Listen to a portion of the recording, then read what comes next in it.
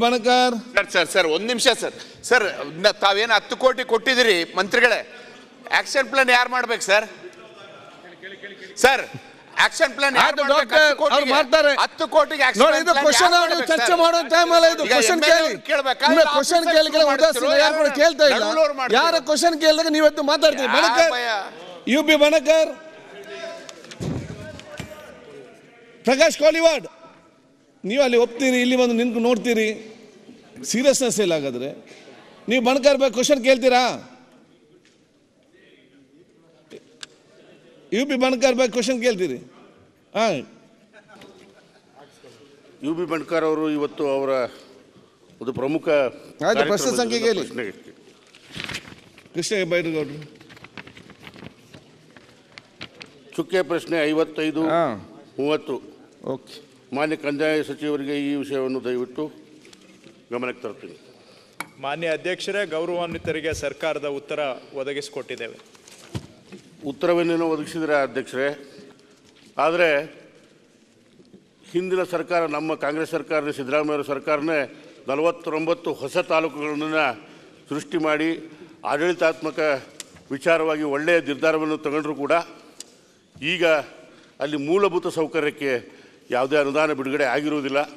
ಹತ್ತು ಕೋಟಿ ರೂಪಾಯಿ ಮಿನಿ ವಿಧಾನಸೌಧಕ್ಕೆ ಅಲ್ಲಿ ಮೀಸಲಾಗಿಟ್ಟಿದ್ರೂ ಕೂಡ ಇನ್ನುವರೆಗೂ ಯಾವುದೇ ಒಂದು ನಿರ್ಧಾರ ಆಗಿಲ್ಲ. ದಯಮಾಡಿ ಅದರ ಬಗ್ಗೆ ಗಮನ ಹರಿಸಲಿಕ್ಕೆ ಇಷ್ಟಪಡ್ತೀನಿ. ಮಾನ್ಯ ಮಾನ್ಯ ಅಧ್ಯಕ್ಷರೇ ಮುಖ್ಯ ಪ್ರಶ್ನೆಗೆ ಉತ್ತರ ಕೊಡ್ತೇನೆ. ಅವರು ಒಂದು ತಾಲೂಕಾ ತಹಶೀಲ್ದಾರ್ ಕಾರ್ಯಾಲಯ ಕಟ್ಟಲಿಕ್ಕೆ ಹತ್ತು ಕೋಟಿ ರೂಪಾಯಿ ಹಿಂದೆ ಒಂದು ಮಾದರಿ ಅಂದಾಜು ವೆಚ್ಚವನ್ನು ಮಾಡಿಟ್ಟಿದ್ದಾರೆ. ನಾನು ಕಂಡ ಹಾಗೆ ಎಲ್ಲೂ ಕೂಡ ಹತ್ತು ಕೋಟಿ ರೂಪಾಯಿಗೆ ಆ ಕಟ್ಟಡವನ್ನು ನಾವು ಪೂರೈಸಲಿಕ್ಕೆ ಸಾಧ್ಯ ಆಗ್ತಾ ಇಲ್ಲ. ಹಾಗಾಗಿ ನಾನು ಈಗಾಗಲೇ ಪಿ ಡಬ್ಲ್ಯೂ ಡಿ ಇಂಜಿನಿಯರ್ಸು ಮತ್ತು ಕರ್ನಾಟಕ ಹೌಸಿಂಗ್ ಬೋರ್ಡ್ ಇಂಜಿನಿಯರ್ಸ್ ಜೊತೆಗೆ ಒಂದು ಮೂರು ಸುತ್ತು ಸ- ಮೂರು ಸುತ್ತು ಸಭೆ ಮಾಡಿದ್ದೇನೆ. ತಂಗಡಿಗೆ ಅವರೇ ತಂಗಡಿಗೆ. ಒಂದು ತಾ ಒಂದು ತಾಲೂಕು ಆಡಳಿತ ಕಚೇರಿ ಅಥವಾ ಜಿಲ್ಲಾಡಳಿತ ಕಚೇರಿಗೆ ಆ ಕಚೇರಿ ಕಟ್ಟಡವನ್ನು ಸಂಪೂರ್ಣ ಮಾಡಿ ಬಳಕೆ ಮಾಡಲಿಕ್ಕೆ ಕನಿಷ್ಠ ಎಷ್ಟು ಬೇಕಾಗುತ್ತೆ ಅಂತ ಒಂದು ವಾಸ್ತವಿಕ ಅಂದಾಜು ವೆಚ್ಚವನ್ನು ತಯಾರು ಮಾಡಿಸ್ತಾ ಇದ್ದೇನೆ. ಈ ತಿಂಗಳಿನಲ್ಲಿ ನಮ್ಮದು ಆ್ಯಕ್ಚುವಲ್ ಎಸ್ಟಿಮೇಟ್ ಮತ್ತು ಡಿಸೈನ್ ಎರಡೂ ಕೂಡ ಈ ತಿಂಗಳಿನಲ್ಲಿ ತಯಾರಾಗುತ್ತೆ. ಹತ್ತು ಕೋಟಿ ಇರೋದನ್ನು ನಾವು ಪರಿಷ್ಕರಣೆ ಮಾಡಲೇಬೇಕು. ವಾಸ್ತವವಾಗಿ ಎಷ್ಟು ಅವಶ್ಯಕತೆ ಇದೆ, ಅದಕ್ಕೆ ತಕ್ಕಾಗೆ ನಮ್ಮ ಎಸ್ಟಿಮೇಟ್ ಇರಬೇಕು. ಇಲ್ಲ ಅಂದರೆ ಎಲ್ಲವೂ ಕೂಡ ರಿವೈಸ್ಡ್ ಎಸ್ಟಿಮೇಟಿಗೆ ನಮ್ಮ ಹತ್ರ ಬರುತ್ತೆ. ಹತ್ತು ಕೋಟಿ ಖರ್ಚಾಗಿ ಆಮೇಲೆ ಇನ್ನೆರಡು ಕೋಟಿಗೆ ಪ್ರಸ್ತಾವನೆ ಕಳಿಸ್ತಾರೆ. ಇದರಿಂದ ಸಾರ್ವಜನಿಕರಿಗೂ ತೊಂದರೆ. ಕಟ್ಟಡವನ್ನು ನಾವು ಅವರಿಗೆ ಬಿಟ್ಕೊಡ್ಲಿಕ್ಕೆ ಸಾಧ್ಯ ಆಗೋದಿಲ್ಲ. ಹಾಗಾಗಿ ಫಸ್ಟ್ ಪಾಯಿಂಟು ಆ್ಯಕ್ಚುವಲ್ ಒಂದು ಕಟ್ಟಡ ಕಟ್ಟಲಿಕ್ಕೆ ಎಷ್ಟು ಬೇಕಾಗುತ್ತೆ ಅಂತ ಒಂದು ಮಾದರಿ ಎಸ್ಟಿಮೇಟನ್ನು ತಯಾರು ಮಾಡ್ತಾ ಇದ್ದೇನೆ. ಅವ್ರು ಕೇಳಿರೋದು ಯಾಕಂದರೆ ಅವ್ರು ಹತ್ತು ಕೋಟಿ ಅಂದರು ಹತ್ತು ಕೋಟಿಗೆ ಆಗೋದಿಲ್ಲ, ಹೆಚ್ಚಿನ ಅಮೌಂಟನ್ನು ನಾವು ಸ್ಯಾಂಕ್ಷನ್ ಮಾಡಬೇಕಾಗತ್ತೆ. ಮುಖ್ಯವಾಗಿ ಅವ್ರ ಪ್ರಶ್ನೆ ಅವ್ರದ್ದು ಈ ತಾಲೂಕು ರಟ್ಟಿಹಳ್ಳಿ ತಾಲೂಕು ಹೊಸದಾಗಿ ಆಗಿದೆ. ಇದಕ್ಕೆ ತಾಲೂಕು ಆಡಳಿತ ಕಚೇರಿಯನ್ನು ಕಟ್ಟಿಲ್ಲ ಅನ್ನುವಂಥದ್ದು. ಏನಾಗಿದೆ ಅಧ್ಯಕ್ಷರೇ, ಎರಡು ಸಾವಿರದ ಹದಿನೆಂಟರಲ್ಲಿ ಒಂದು ಐವತ್ತು ತಾಲೂಕು ನ, ಹೊಸದಾಗಿ ಆಯಿತು. ಅದಾದಮೇಲೆ ಎಲ್ಲ ಸೇರಿಸಿದ್ರೆ ಸುಮಾರು ಒಂದು ಅರವತ್ತ ಮೂರು ತಾಲೂಕುಗಳು ಹೊಸದಾಗಿ ಆಗಿದ್ದಾವೆ. ಈ ಕಳೆದ ಐದು ವರ್ಷ ಅವಧಿ ನೋಡಿದರೆ ಅರವತ್ತ್ಮೂರು ಹೊಸ ತಾಲೂಕಿನಲ್ಲಿ ಹದಿನಾಲ್ಕು ತಾಲೂಕುಗಳಿಗೆ ಮಾತ್ರ ಆಡಳಿತ ಕಚೇರಿಯನ್ನು ಮಂಜೂರು ಮಾಡಿ ಅದು ಕಟ್ಟಡ ಮುಗಿಯುವಂಥದ್ದು ಅಥವಾ ನಿರ್ಮಾಣ ಕೆಲಸ ನಡೆದಿದೆ. ಹಾಗೆ ನೋಡಿದಾಗ ಇನ್ನು ನಲವತ್ತೊಂಬತ್ತು ಹೊಸ ತಾಲೂಕುಗಳಿಗೆ ಕಳೆದ ಸರ್ಕಾರದ ಅವಧಿಯಲ್ಲಿ ಕಟ್ಟಡ ಮಂಜೂರಾತಿಯನ್ನು ಕೊಟ್ಟಿಲ್ಲ. ನಲವತ್ತೊಂಬತ್ತು ಬಾಕಿ ಉಳಿದಿದೆ. ಕಳೆದ ಸರ್ಕಾರ ಐದು ವರ್ಷ ಇದ್ದರೂ ಕೂಡ ಆ ಸಂದರ್ಭದಲ್ಲಿ ಆಗಿಲ್ಲ. ಸೊ ಇವತ್ತು ಹೊಸ ತಾಲೂಕುಗಳದೇ ನಲವತ್ತ್ಮೂರು ನನ್ನ ಹತ್ರ ಪಟ್ಟಿ ಬಾಕಿ ಉಳಿದಿದೆ ತಾಲೂಕು ಆಡಳಿತ ಕಚೇರಿ ಮಂಜೂರಾತಿಗೆ. ಅದರ ಜೊತೆಗೆ ಭಾಳ ಹಿಂದೆ ಕಟ್ಟಿದಂಥದ್ದು ಒಂದು ಮೂವತ್ತು ನಲವತ್ತು ತಾಲೂಕು. ಒಟ್ಟಾರೆ ಎಲ್ಲ ಸೇರಿದರೆ ಎಂಬತ್ತರಿಂದ ನೂರು ತಾಲೂಕುಗಳಲ್ಲಿ ತಾಲೂಕು ಆಡಳಿತ ಕಚೇರಿ ಕಟ್ಟಲಿಕ್ಕೆ ಬೇಡಿಕೆ ನಮ್ಮ ಮುಂದೆ ಇದೆ. ಅದರಲ್ಲಿ ಮಾನ್ಯ ಶಾಸಕರು ರಟ್ಟಿಹಳ್ಳಿಯ ಸಂಬಂಧಪಟ್ಟ ಹಾಗೆ ಕೇಳಿದ್ದಾರೆ. ನಾವು ಮುಖ್ಯಮಂತ್ರಿಗಳ ಹತ್ರ ಮಾತಾಡಿದ್ದೇವೆ. ನಮ್ಮ ಸರ್ಕಾರದ ಅವಧಿಯಲ್ಲಿ ಬಾಕಿ ಉಳಿದಿರ್ತಕ್ಕಂಥ ನಲವತ್ತೊಂಬತ್ತು ತಾಲೂಕುಗಳು, ಹೊಸ ತಾಲೂಕುಗಳಿಗೂ ಕೂಡ ತಪ್ಪದೇ ನಾವು ಅವರಿಗೆ ತಾಲೂಕು ಆಡಳಿತ ಆಡಳಿತ ಕಚೇರಿ ಕಟ್ಟಲಿಕ್ಕೆ ನಾವು ಒಪ್ಪಿಗೆಯನ್ನು ಕೊಡ್ತೇವೆ. And we will take up the work ಆ ನಲವತ್ತೊಂಬತ್ತು ಬಾಕಿ ಏನು ಬಿಟ್ಟು ಹೋಗಿದ್ದಾರೆ ಹಿಂದೆ ಸರ್ಕಾರದಲ್ಲಿ. ಅಷ್ಟಕ್ಕೂ ನಾವು ಹೊಸ ಆಡಳಿತ ಕಚೇರಿಯನ್ನು ಒಂದು ವರ್ಷದಲ್ಲಿ ಮಾಡಲಿಕ್ಕೆ ಆಗೋದಿಲ್ಲ. ಎರಡು, ಮೂರು ವರ್ಷದಲ್ಲಿ ನಾವು ಖಂಡಿತವಾಗಿ ಅವರಿಗೆ ತಾಲೂಕು ಆಡಳಿತ ಕಚೇರಿ ಕಟ್ಟಿಸ್ಕೊಡ್ತೇವೆ.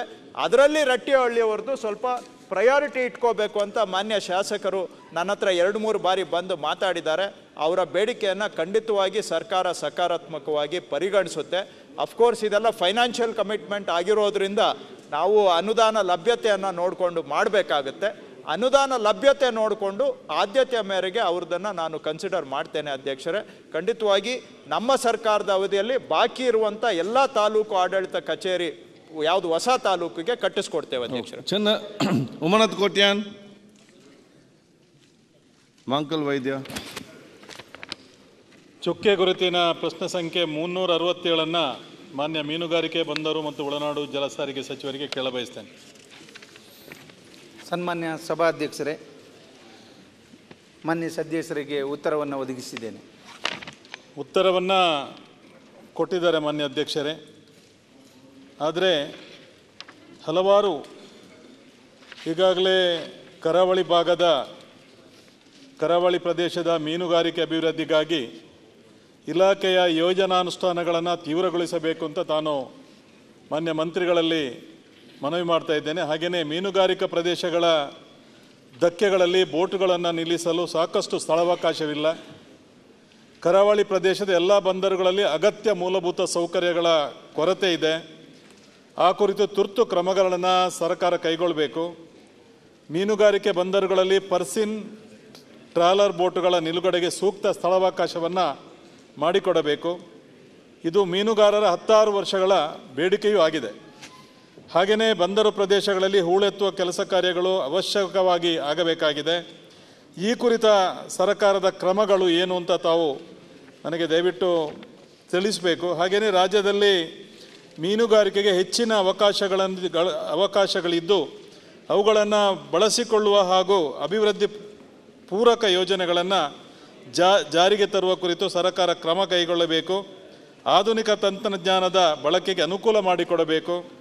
ಹಾಗೆಯೇ ಮೀನುಗಾರಿಕೆಯನ್ನು ಪಾರಂಪರಿಕವಾಗಿ ಮಾಡಿಕೊಂಡು ಬಂದಿರುವಂಥ ಕುಲವೃತ್ತಿ ಆಧಾರಿತರಿಗೆ ಹೆಚ್ಚಿನ ಯೋಜನಾನುಷ್ಠಾನಗಳನ್ನು ಒದಗಿಸಿಕೊಡಬೇಕು ಅಂತ ತಾನು ಮಾನ್ಯ ಮೀನುಗಾರಿಕಾ ಸಚಿವರಲ್ಲಿ ಮನವಿ ಮಾಡಿಕೊಳ್ತಾ ಇದ್ದೇನೆ. ಅಧ್ಯಕ್ಷರೇ ಈಗಾಗಲೇ ನಾವು ಮಂಗಳೂರಲ್ಲಿ ಮೂರನೇ ಹಂತದ ಕಾಮಗಾರಿ ಟೆಂಡರು ಮಾಡಿದ್ದೇವೆ. ಬಂದ ತಕ್ಷಣ ಕಾರವಾರದಿಂದ ಮಂಗಳೂರಿಗೆ ಹದಿಮೂರು ಸಣ್ಣ ಬಂದರುಗಳನ್ನು ಬೋಟಿಗೆ ಅಥವಾ ಅವ್ರು ಹೇಳಿದರು ಪಿಸಿಂಗ್ ಬೋಟ್ ಅಥವಾ deep sea boat purse seine boat ಅದಕ್ಕೆ ಅನುಗುಣವಾಗಿ ನಾವು ಈಗಾಗಲೇ ಆ್ಯಕ್ಷನ್ ಪ್ಲ್ಯಾನ್ ಮಾಡ್ತಾ ಇದ್ದೇವೆ.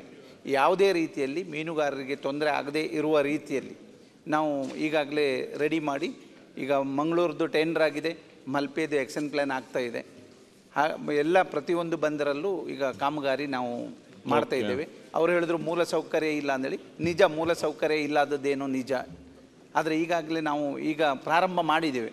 ಎಲ್ಲ ಬಂದರಲ್ಲಿ ಶೌಚಾಲಯ ಇರ್ಬೋದು ಅಥವಾ ಮೀನು ಹುರುವರಿಗೆ ಮಹಿಳೆಯರಿಗೆ ವಸತಿ ಅಲ್ಲಿ ಉಳ್ಕೊಂಡು ಕೆಲಸ ಮಾಡುವ ಹಾಗೆ ಮತ್ತು ಸ್ವಚ್ಛತೆ ಏನು ಬೇಕು ಪೂರಕವಾಗಿ ಎಲ್ಲ ರೀತಿಯ ಸಹಾಯ ಸಹಕಾರ ನಾವು ಮಾಡ್ತಾ ಇದ್ದೇವೆ.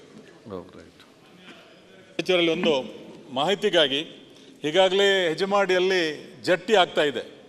ಜಟ್ಟಿ ಆಗುವಂಥ ಸಂದರ್ಭದಲ್ಲಿ ನಮ್ಮ ಹೆಜಮಾಡಿ ಮತ್ತು ನಮ್ಮ ಶಶಿ ಇದು ಬಹಳ ಹತ್ತಿರವಾಗಿರುವಂಥ ಒಂದು ಭಾಗ. ಹಾಗಾಗಿ ಅಲ್ಲಿ ಜಟ್ಟಿಯಾದಾಗ ನಮ್ಮ ಸಸಿತುಲು ಭಾಗದ ಹಲವಾರು ವಸತಿ ಪ್ರದೇಶಗಳಿಗೆ ತೊಂದರೆ ಆಗ್ತಾ ಇದೆ. ಅದಕ್ಕಾಗಿ ಅಲ್ಲಿಗೆ ತಡೆಗೋಡೆಗಳನ್ನು ನಿರ್ಮಿಸುವ ಕುರಿತು ತಾವು ಏನು ಕ್ರಮ ಕೈಗೊಂಡಿದ್ದೀರಿ ಅಂತ ಇದಕ್ಕೆ ಪೂರಕವಾಗಿ ಒಂದು ಮಾಹಿತಿಯನ್ನು ಕೊಡಬೇಕು. ಆ ಕಡೆ ಬಂದರ್ ಮಾಡಿದ್ದಾರೆ. ಈ ಕಡೆ ಒಂದು ಕಡೆ ಮೀನುಗಾರರದು ಏನು ಆಸ್ತಿ ಇದೆ. ಕೊಚ್ಕೊಂಡು ಹೋಗುವಂಥ ಪರಿಸ್ಥಿತಿಲಿ ಇದೆ. ಕೊಚ್ಕೊಂಡು ಹೋಗಿದೆ. ನಾನೇ ಖುದ್ದಾಗಿ ಹೋಗಿ ಪರಿಶೀಲನೆ ಮಾಡಿದ್ದೆ. ಅದಕ್ಕೆ ಕ್ರಮ ತಗೊಳ್ಳಿಕ್ಕೆ ಈಗಾಗಲೇ ನಾವು ಆ್ಯಕ್ಷನ್ ಪ್ಲ್ಯಾನ್ ರೆಡಿ ಮಾಡಿದ್ದೇವೆ. ಪ್ರಾರಂಭ ಮಾಡ್ತೇವೆ ನಾವು ಕಾಮಗಾರಿ ಚೆನ್ನರೆಡ್ಡಿ ತು ಚೆನ್ನರೆಡ್ಡಿ ಪಾಟೀಲ್ ರಾಮಲಿಂಗ ರೆಡ್ಡಿ. ಸಬ್ ಸಭಾಧ್ಯಕ್ಷರೇ ಚುಕ್ಕೆ ಗುರುತಿನ ಪ್ರಶ್ನೆ ಒಂಬೈನೂರದ ನಲವತ್ತೊಂದನ್ನು ಸಾರಿಗೆ ಮತ್ತು ಮುಜರೆ ಸಚಿವರಲ್ಲಿ ಕೇಳುತ್ತೆ ಉತ್ತರವನ್ನು ಒದಗಿಸಲಾಗಿದೆ ಸಭಾಧ್ಯಕ್ಷರೇ. ಸನ್ಮಾನ್ಯ ಸಭಾಧ್ಯಕ್ಷರೇ ಉತ್ತರವನ್ನು ಒದಗಿಸಿದ್ದಾರೆ. ನಾನು ಇದರಲ್ಲಿ ಒಂದು ಎರಡು ಉಪಪ್ರಶ್ನೆ ಕೇಳಬೇಕಾಗಿದೆ. ನಮ್ಮ ಯಾದಗಿರಿ ಮತಕ್ಷೇತ್ರದಲ್ಲಿ ಬರ್ತಕ್ಕಂಥ ಮೈಲಾಪುರ ಮೈಲಾಲಿಂಗೇಶ್ವರ ಇರ್ಬೋದು ಶೋರಾಪುರದಲ್ಲಿ ಬರ್ತಕ್ಕಂಥ ತಿಂತಿನಿ ಮೌನೇಶ್ವರ ಇರ್ಬೋದು ಇಲ್ಲಿ ಗ್ರೂಪ್ ಬಿ ಮತ್ತು ಸಿ ಅಲ್ಲಿ ಹುದ್ದೆಗಳ ಸಂಖ್ಯೆ ಒಂದು ಮೂರು ಖಾಲಿ ಇವೆ ಮತ್ತು ತಿಂತಿನಿ ಮೌನೇಶ್ವರ ಸುರ್ಪುರದಲ್ಲಿ ಎರಡು ಖಾಲಿ ಇವೆ. ಇದನ್ನು ಯಾವಾಗ ಭರ್ತಿ ಮಾಡ್ತಾರೆ ಅಂತೇಳಿ ಯಾಕಂದರೆ ಅದು ಭಾಳ ಅತಿ ಅವಸರ ಇರ್ತದೆ ಭಾಳ ದಿನದಿಂದ ವೆಕೆಂಟ್ ಉಳಿದಿದೆ. ಓಕೆ ಆಮೇಲೆ ಇನ್ನೊಂದು ಅನುಬಂಧ ಎರಡರಲ್ಲಿ ಜೀರ್ಣೋದ್ಧಾರ ಸಲುವಾಗಿ ಕೊಟ್ಟಂಥ ದುಡ್ಡು ಕೆಲವು ಕಡೆ ಯೂಸ್ ಮಾಡಲಾರ್ದು ಹಾಗೆ ಉಳಿದಿದೆ. ತಹಸೀಲ್ದಾರ್ದು ನೋಡ್ಕೊಂಡು ನಾವು ತಿಳಿಸ್ತೀವಿ ಅಂತ ಹೇಳ್ಯಾರ. ಅದ್ರ ಬಗ್ಗೆ ತಾವು ಹೇಳಬೇಕಂತ ತಮ್ಮ ಮುಖ ತಮ್ಮ ಮು- ಮುಖಾಂತರ ಅವ್ರಿಗೆ ಕೇಳ್ತೇನೆ. ಸಭಾಧ್ಯಕ್ಷರೇ ಇನ್ನೊಂದು ಹನ್ನೊಂದು ದೇವಸ್ಥಾನ ಹದಿನೇಳುವರೆ ಲಕ್ಷ ರೂಪಾಯಿ ಬಾಕಿ ಇದೆ. ಅವರು ಪ್ರೊಪ ಇದು ಕಳಿಸ್ತಾರೆ ಎಸ್ಟಿಮೇಟ್ ಮಾಡಿ ಕಳಿಸ್ತಾರೆ ಇಮಿಡಿಯೇಟ್ ಆಗಿ ಅದನ್ನು ಜಿಲ್ಲಾಧಿಕಾರಿ ಜಿಲ್ಲಾಧಿಕಾರಿಗಳೇ ಕೊಡ್ತಾರೆ. ಮತ್ತು ಎರಡು ಮೂರು ದೇವಸ್ಥಾನದಲ್ಲಿ ರಿಕ್ರೂಟ್ಮೆಂಟ್ ಆಗಬೇಕು ಅಂತ ಹೇಳಿದ್ದಾರೆ. ಪ್ರಪೋಸಲ್ ಕಳಿಸಿದ್ರೆ ತಕ್ಷಣ ಮಾಡಿ ಕಳಿಸ್ತೀವಿ ಸಭಾ ಓಕೆ ಕಿರಣ್ ಮಾನ್ಯ ಮಂತ್ರಿಗಳ ಕಿರಣ್ ಕುಮಾರ್ ಕೊಡ್ಗಿ. ಕೇವಲ ಅವ್ರ ಕಿರಣ್ ಕುಮಾರ್ ಕೊಡ್ಗಿ. ಸರ್ ಸರ್ ಒಂದು ಆ ದೇವಸ್ಥಾನದ ಮುಜರಾಯಿ. ಇಲ್ಲಿ ನೋಡಿ. ಇಲ್ಲ ಒಂದೇ ನೋಡಿ, ನೋಡಿ, question ಎರಡು ನಾವು- ಕೋಟಿ ಹಣ ಬಿಡುಗಡೆ ಮಾಡಿ ಅಂತ ನಿಶ್ಚಯ ಆಗಿತ್ತು. ಎರಡು ಕೋಟಿ ಹಣ ಬಿಡುಗಡೆ ಮಾಡಿದ್ರು. ಈಗ ಬರೀ ಒಂದ್ ಕೋಟಿ ಹಣ ಬಿಡುಗಡೆ ಮಾಡಿದ್ದಾರೆ. ಕಿರಣ್ ಅರ್ಧ ಕೆಲಸ ಆಗಿದೆ ಇನ್ನು ಅರ್ಧ ಮುಗಿಸ್ಲಿಲ್ಲ ಅಂದ್ರೆ ಹೇಗೆ ಪೂರ್ತಿ ಆಗುತ್ತೆ ಅದು? ಓಕೆ ಕಿರಣ್ ಕುಮಾರ್ ಕೊಡ್ಗಿ. ಅರ್ಧದಲ್ಲೇ ಅಲ್ಲ, ನಿಂತು ಹೋಗಿದ್ರೆ ಆಯ್ತು. ಅದಕ್ಕೊಂದು ಸ್ವಲ್ಪ clarification ನಿಂತೋಗಿರೋ ಕೊಟ್ಬಿಡಿ. ಕೆಲಸವನ್ನ ಸಂಪೂರ್ಣ ಆಗ್ಬೇಕಾಗಿದೆ. ಸಭಾಧ್ಯಕ್ಷರ ಮೂಲಕ ಸನ್ಮಾನ್ಯ. ಸಚಿವರ ಗಮನ ಸೆಳೆಯಕ್ಕೆ ಇಷ್ಟಪಡ್ತೀವಿ. ಸುರೇಶ್ ಗೌಡ್ರೆ ಕ್ವಶನ್ ಯಾರೇ ಕೇಳಿದ್ರು ಕೇಳಿದ್ದು ನೀವು ಯಾರು. ಮಾತಾಡೋದು ಕ್ವಶನ್ ಕೇಳ್ತಾ ಅಲ್ಲಿ ಬಾಕಿ ಆಯ್ತು ಕಾಲಿಂಗ್ ಅಟೇಷನ್ ಹಾಕಿ. ಇನ್ನೊಂದು ಜೀರೋ ಅವ್ರಿಗೆ ಕೇಳಿ. ಉತ್ತರ ಬಯಸ್ತೀವಿ. ಆಯ್ತು ನೆಕ್ಸ್ಟ್ ಕೊಡ್ತಾರೆ ಅವ್ರ ಉತ್ತರ. ಅವು ಏನು ಉತ್ತರ ನೀವು ಕ್ವಶನ್ ಕೇಳಿಲ್ಲ. ಈಗ ಇನ್ಸ್ಟಂಟ್ ಕ್ವಶನ್ ಫಾಸ್ಟ್ ಫುಡ್ ಆಯ್ತು ರೆಸ್ಟೋರೆಂಟ್ ಅರ್ಜೆಂಟ್ ಅರ್ಜೆಂಟ್ ಕೊಡ್ಲಿಕ್ಕೆ. ಕೊಡುಗೆ ಅವ್ರು ಕೊಡ್ತಾರೆ. ಕೊಡುಗೆ ಅವ್ರೆ ಮಾತಾಡಿ. ಮಾನ್ಯ ಸಭಾಧ್ಯಕ್ಷರೇ. ಕೊಡ್ತಾರೆ ಮತ್ತೆ ಕೊಡ್ತಾರೆ ಅವರು. ಕೊಡ್ತಾರೆ. ನ್ಯೂಸ್ ಫಸ್ಟ್ ನಿರ್ಭೀತಿಯಿಂದ ನಿಮ್ಮ ಪರವಾಗಿ.